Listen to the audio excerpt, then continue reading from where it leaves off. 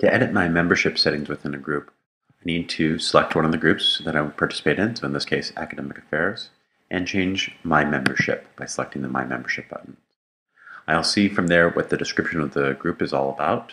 I'll see the group email, so if I want to send an email to the entire group right from my email box, I'll just need to take note of that. Uh, if I want to change my settings about how I participate in this group.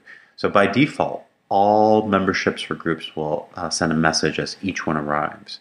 But I can choose to select digest email, which means that every 25 uh, new messages that are posted to the group uh, will arrive in a single email in my inbox.